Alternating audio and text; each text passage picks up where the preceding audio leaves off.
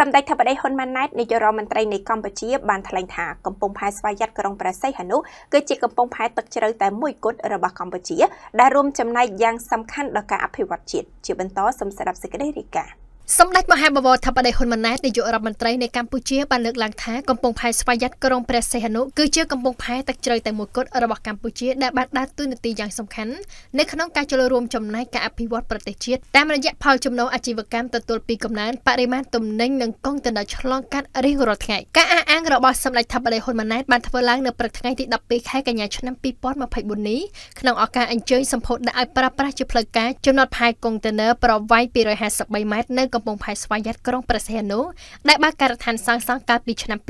2023ក្នុងដំណាក់កាលនៃការដឹកនាំរបស់សម្ដេចតេជោហ៊ុនសែនសម្ដេចថាប្តីហ៊ុនម៉ាណែតបានមានប្រសាសន៍យ៉ាងដូចនេះថាជាក់ស្ដែងដោយឯកឧត្តមពេញពូឌីរដ្ឋមន្ត្រីក្រសួងសាធារណការនិងដឹកជញ្ជូនបានលើកឡើងក្នុងរបាយការណ៍អំបញ្ញបៃតេ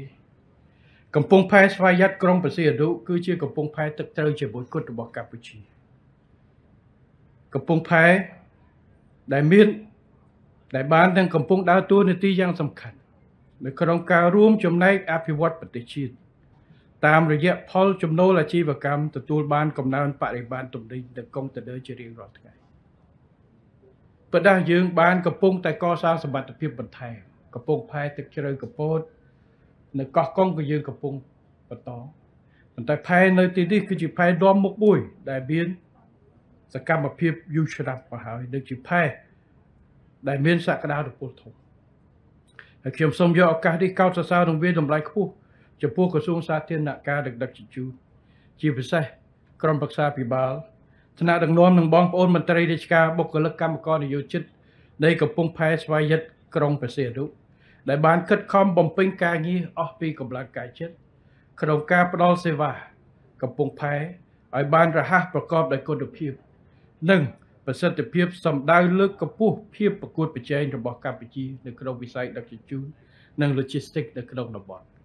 បើតាមប្រសាសន៍របស់សម្ដេចថាបតីនាយករដ្ឋមន្ត្រីនៃកម្ពុជារាជរដ្ឋាភិបាលកម្ពុជាបាននឹងកំពុងតែកសាងសមត្ថភាពបន្ថែមកំពុងថែទឹកជ្រៅកំពតកោះកុងក៏កំពុងតែបន្តប៉ុន្តែផែនៅទីនេះគឺជាផែនាំមុខមួយដែលមានសកម្មភាពយូរឆ្នាំមកហើយនិងជាផែដែលមានសក្តានុពលធំផងដែរក្នុងឱកាសនោះសម្ដេចថាបតីក៏បានកោតសរសើរនិងវេតម្លៃខ្ពស់ចំពោះក្រសួងសាធារណការនិងដឹកជញ្ជូនជាពិសេសក្រុមប្រឹក្សាពិបាលថ្នាក់ដឹកនាំនិងមន្ត្រីរាជការបុគ្គលិកកម្មករនយោជិតនៃកំពង់ផែស្វ័យយ័តក្រុងព្រះសីហនុដែលបានកាត់ខំបំពេញការងារអស់ពីកម្លាំងកាយចិត្តក្នុងការផ្តល់សេវាឲ្យបានរហ័សប្រកបដោយគុណភាព និងប្រសិទ្ធភាពសម្ដៅលើកកម្ពស់ភាពប្រកួតប្រជែងរបស់កម្ពុជានៅក្នុងវិស័យដឹកជញ្ជូននិង Logistics នៅក្នុងតំបន់ប្រមុខនៃរាជរដ្ឋាភិបាលកម្ពុជាបានបន្ថែមទៀតថាចំណតផែកុងតឺន័របន្ថែមប្រវែង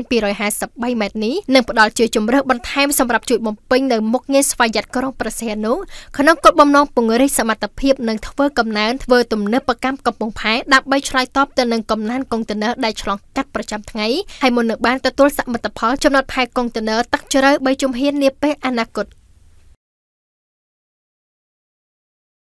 ទិញផ្ទះទទួលបានកំពូលរថយន្តទំនើបឡានចេតធัวយ៉ាងថ្មីសន្លងជាច្រើនគ្រឿងភ្លាមភ្លាមនិងការបញ្ចុះតម្លៃច្រើនទៀតក្នុងឱកាសបុណ្យភ្ជុំបិណ្ឌខាងមុខនេះពីបុរីមេកុងឡែន